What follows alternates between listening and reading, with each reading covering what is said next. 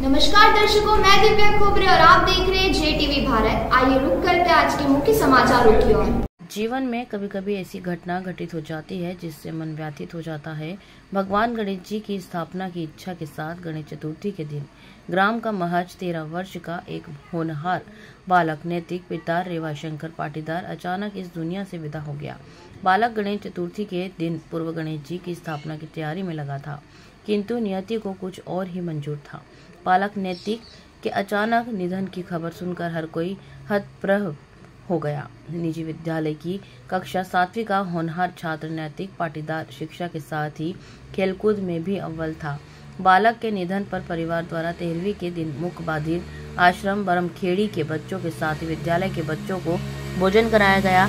विद्यालय परिवार व बच्चों ने बालक के अचानक अपने बीच से जाने पर दो मिनट का मौन व्रत धारण कर बालक को आशुपूर्ण श्रद्धांजलि अर्पित की।